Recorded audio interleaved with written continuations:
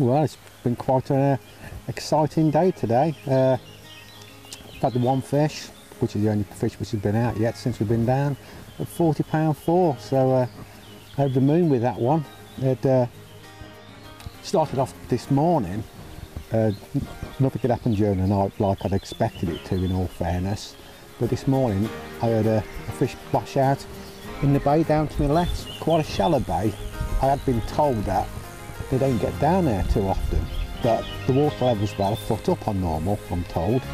So uh, I think that's one of the reasons a few fish have drifted down there. But I heard the one this morning, ch checked it out, uh, waited a few hours, and uh, seen a few rings coming out from the rhododendron bush on the far bank, but right down in the bay. And, uh, I thought to myself, well, it's got to be worth putting bait down there for a few hours. So I've waded a rod down there, just flicked it over onto the rhododendron bush, 20 baits around it. Literally an hour later, it's rattled off. Absolutely fantastic scrap the fish as well, like really beat me up. But uh, yeah, yeah, really, really pleased. Let's hope the rest of the week carries on in this form and I'll be happy.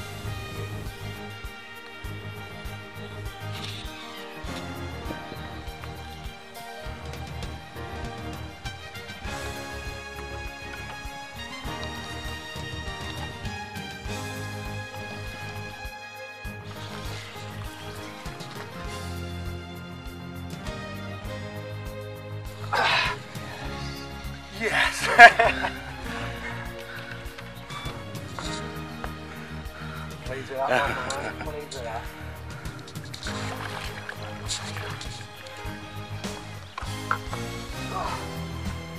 one thing I wanted to do was not fill it in with bait.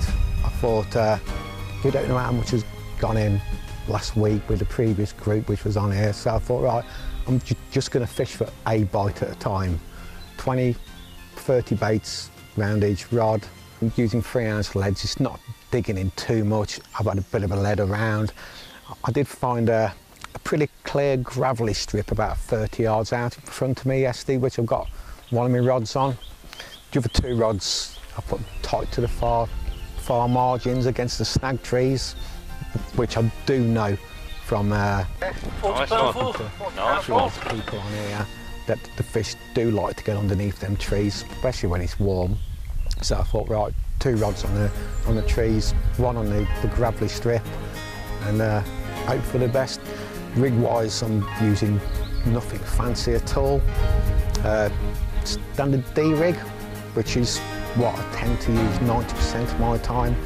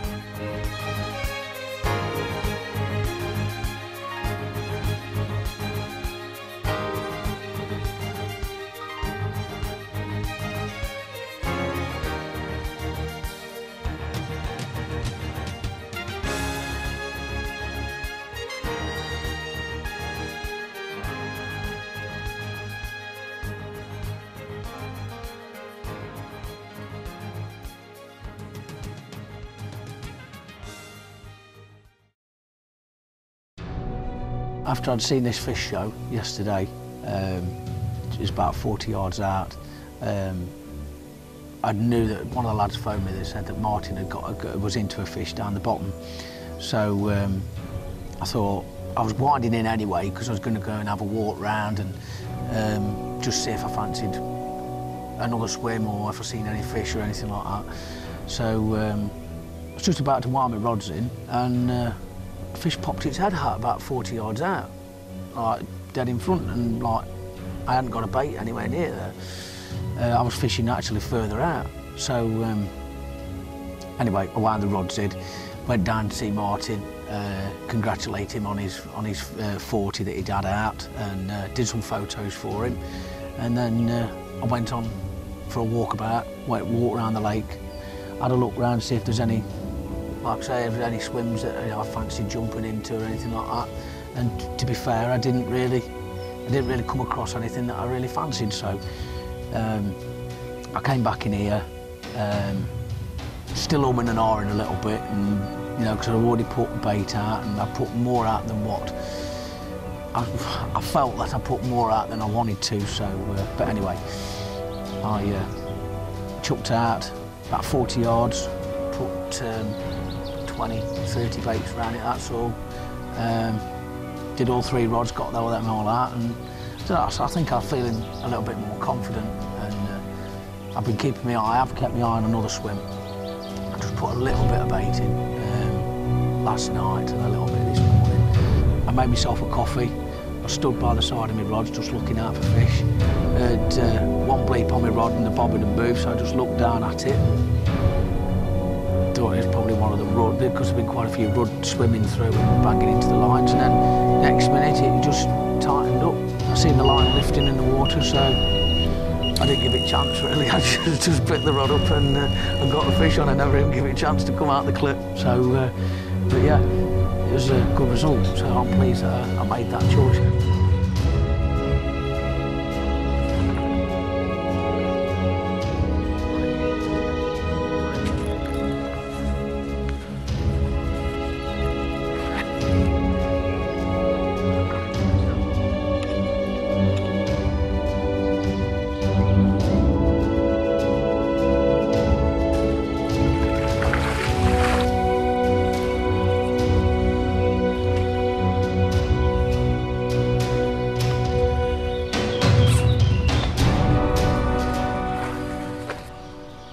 Forty-two nine. That just took off a spot that I moved to yesterday at about 50 yards out. Put a few about just a handful of baits around it, and uh, she's just rattled off. So yeah, really pleased with that one. Yeah, it's a new PB for me for Acton so far. So we'll uh, yeah we'll pop her back and uh, see if we can catch another one.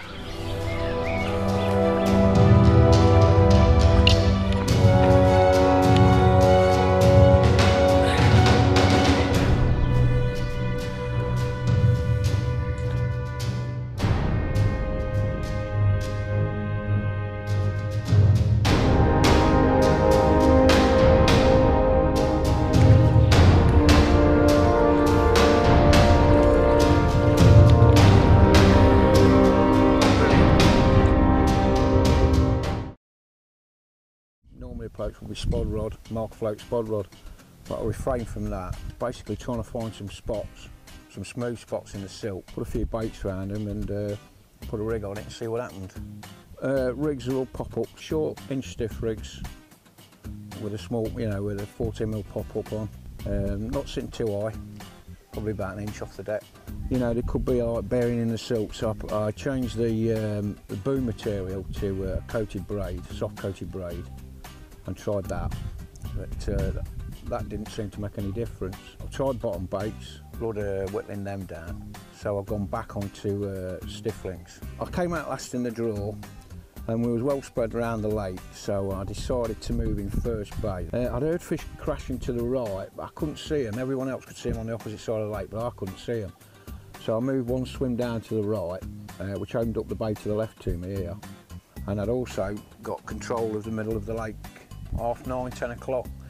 Uh, had a bit of a pull up, and at first I thought it was a bird um, because it just dropped back straight down into the same place it was originally rested, and then all of a sudden it just ripped off. It was a fantastic fight. Yeah, I knew it was a lump as soon as I hooked into it. So it was chesties on, get into the water, and uh, do battle. I saw the fish roll in front of me. I thought, oh Christ, that's a PB common.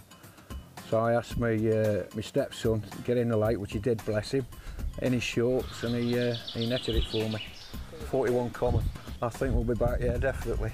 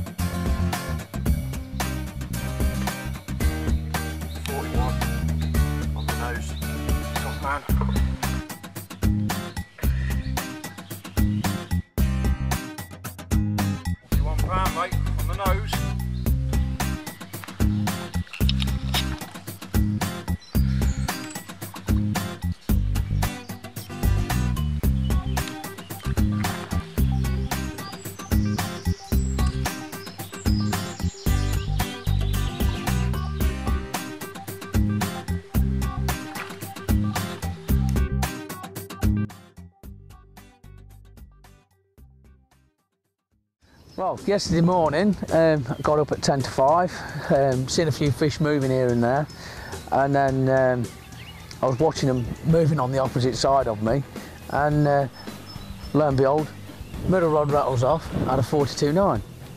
Um, so I was really pleased with that. I spoken to Alex yesterday as well from uh, RH Fisheries, the fishery manager there, and uh, we was having a discussion about a fish that uh, both him and Rob had shown me a picture of last week.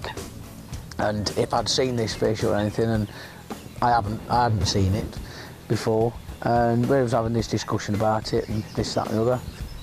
Alex asked me he said you know if we can try and find out if anybody's caught it or, or anything like that because it, it was quite a while since it's been caught.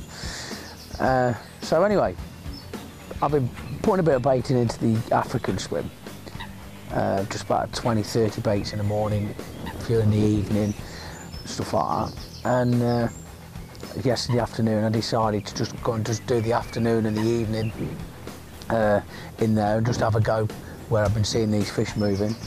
And uh, lo and behold uh, I'd had my rods out for about 20 minutes and I believe that it's the fish that we was discussing yesterday morning. Um, I think it had been out around 42 mark before and uh, I had it at 44.8 so absolutely over the moon with that. Really chuffed. A brace of 40s in a day you know.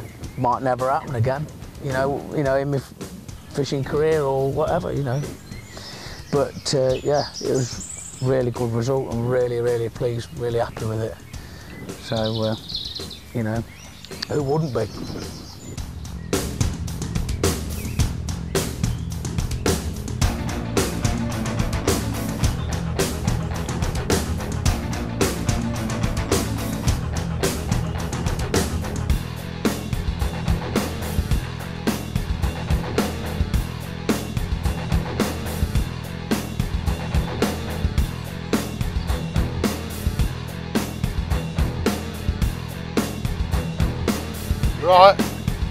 Yes. Looks a big fish, that does.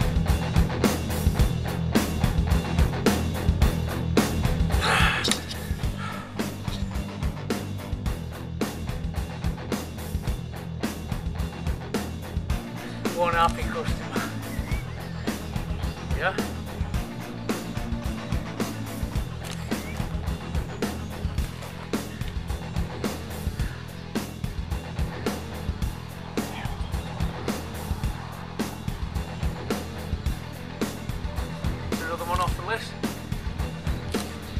Forty-four pound eight. Well chuffed. Absolutely buzzing. So pleased with that fish. Oh, Good dog, these Bait had only been out 20 minutes. Cast down to the shallows. Been putting a, a bit of bait in for the last 24 hours. About 20 baits at a time.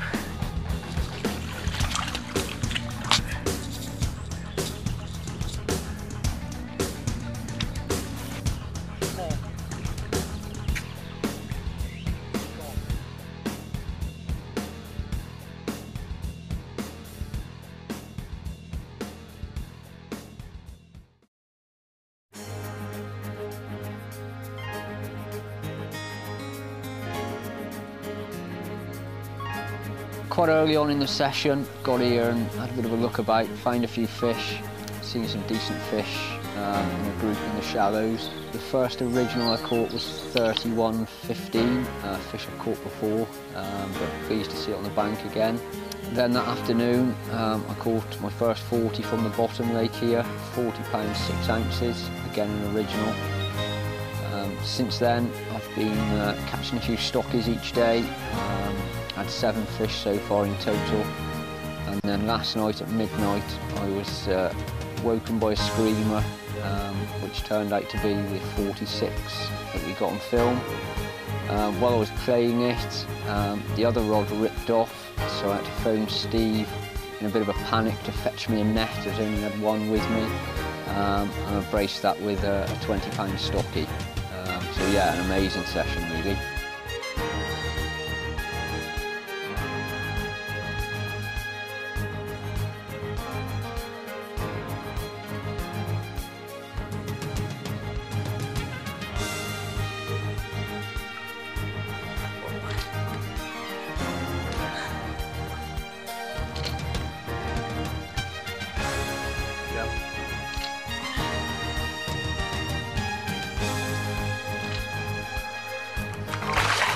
Yeah, I think we're done. We're done.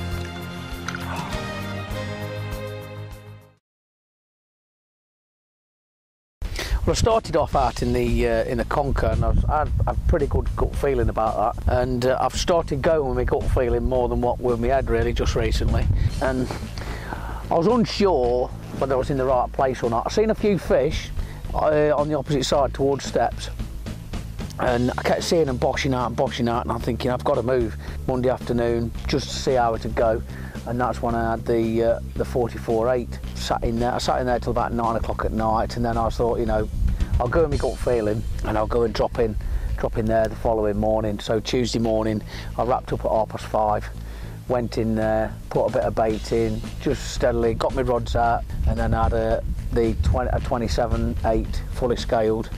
And be honest with you, I was open, I was thinking that like you know, with having one that early in the day, that uh, we'll pick another one up later on that evening. But got up yesterday morning I was down in the African, not seen any fish for a couple of days, not heard anything, and been mooching around the lake and that, like having a look, see where I can slip in. And then obviously Thursday morning, I was out and I'd, I'd already put a little bit of baiting on the on the sandy point. So I just like made the decision up sticks. I'd already had, I'd got nothing to lose. I'd already had a 20, a brace of 40s. You know, I just think, you know, that's that's my week done anyway. Wednesday morning, just a couple of handfuls down here uh, on Sandy Point. Still thinking that like it was things were going to start moving up in the African again. Uh, I put a bit of baiting up there, just didn't see anything. So first thing Thursday morning, I just knew straight away I've got to move. So um, I had a slow pack up, moved down into here, and uh, one of the other guys was fishing in here early on in the week with no joy or anything, so he moved out. So he'd had a couple of couple of good days of rest and uh, dropped in yesterday, got my baits out in the late afternoon. Not all, completely out of the blue. Last night, another uh, my right hand rod screamed off that was uh, baited up onto the dam wall there. And uh, I had one of the known fish called, called creases at 44.8. So uh, I ended up, that's three swims and three different 40s as well. And uh, it screamed off again, the same rod, and that ended up with a, um, a 24-12 fully scaled and really pretty fish. In fact, it's probably one of the prettiest fish that are in here, really. So I was uh, really pleased with that as well. So it's Friday night now. it's around tea time. We've got till about half nine, ten o'clock tomorrow morning. You know, we should get uh, a couple more fish just to end round the trip off with a bit of luck.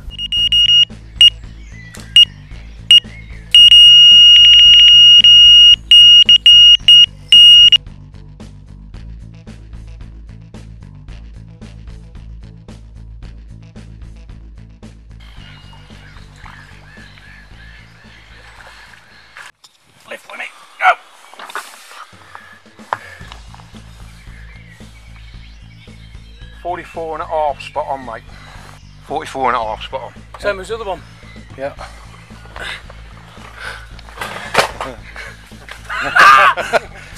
Man up you! it's creases. Is it? Yeah. Ready? I'm going full on, mate. Oh, yeah, dorsals up. Get, get it now, It says, our dorsals up. Go on.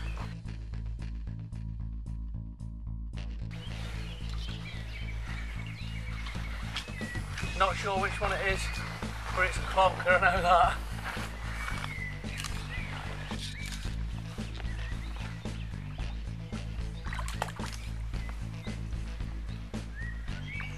No, 244 and a half.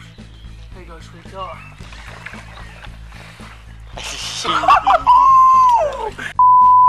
Martin!